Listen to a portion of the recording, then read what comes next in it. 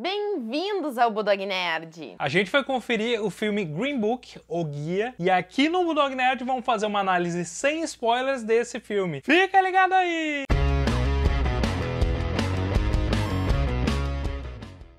Esse é um drama baseado em fatos reais e ele conta a história do Don Shirley e do Tony Vallelonga, quando o pianista contrata o Tony para levar ele numa turnê. É, o Don Shirley era um pianista negro que precisava fazer uma turnê pelo sul dos Estados Unidos, numa época que aquela era uma das regiões mais racistas e segregadoras dos Estados Unidos. O roteiro desse filme é extremamente envolvente desde o primeiro segundo de filme. E assim, a ambientação dos anos 60 é muito envolvente e a gente fica assim com uma vontade de mergulhar nessa jornada junto com os personagens mesmo. É, a gente vê aqui o Tony, a família dele italiana, algumas das cenas aqui com ele são memoráveis, né? São muito engraçadas. Boa parte da comédia do filme tá nessa relação dele com a família aqui também. E a gente tem a figura do Don Shirley que nos traz muito uma figura misteriosa, um ar assim da gente quer saber um pouco mais do que, que é aquele personagem. E a dose de humor desse filme, assim, acho que torna alguns momentos mágicos desse filme. Porque é um humor super inocente e nada apelativo, então é gostoso de assistir. E ainda assim o filme nos traz um assunto sério, ele fala bastante sobre as relações humanas, sobre a construção dessas relações, né? Sobre às vezes como é muito difícil aceitar como a outra pessoa é e como a gente às vezes tenta moldar a outra pessoa às nossas ideias, ao nosso comportamento. Então o filme trata bastante disso. E ver essa relação do Don Shirley com o Tony nascendo ali dessa diferença entre os dois é muito legal, que justamente um precisa do outro, um tem o que falta no outro. Então realmente esse filme tem esse aspecto bem interessante. E essa relação se constrói muito com um componente racial aqui, porque a gente tem um pianista negro que ele é muito talentoso e precisa fazer essa turnê pelo sul dos Estados Unidos. Então, a cada vez que o filme vai avançando, a gente vai vendo as bandeiras dos estados americanos que eles estão entrando ali. A gente vê que a relação ali vai ser complicada com aquelas sociedades e a construção da relação dos dois também se dá muito pelas situações que eles vivenciam nesses lugares, né? Sabe aqueles personagens que são tão cativantes que a gente fica assim alegre, triste triste durante o filme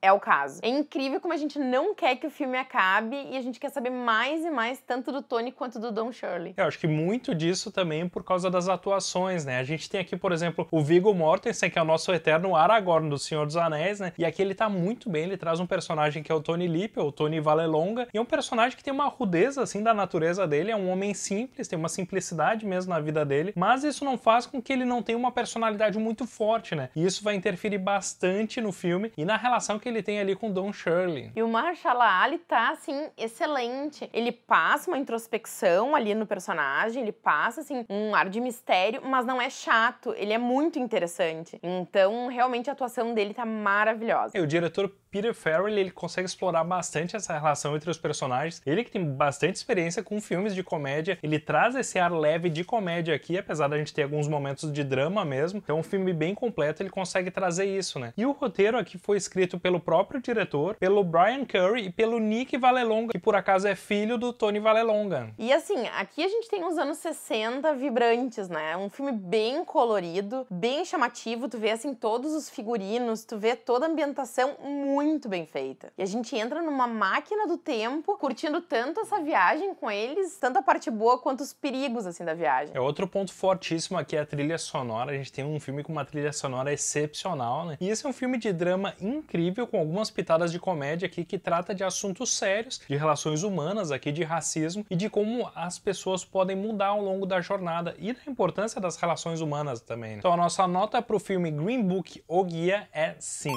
Lembrando que as nossas notas vão de 1 a 5 e seguem os nossos critérios de avaliação. Então, se tu concorda, não concorda, comenta aqui embaixo, dá um like e te inscreve no canal para ficar por dentro dos próximos vídeos. Aí, pessoal, só para lembrar que a gente vai ter uma série de vídeos aqui analisando filmes que estão concorrendo agora ao Oscar de 2019. Então, fiquem ligados nesses vídeos também. E até a próxima!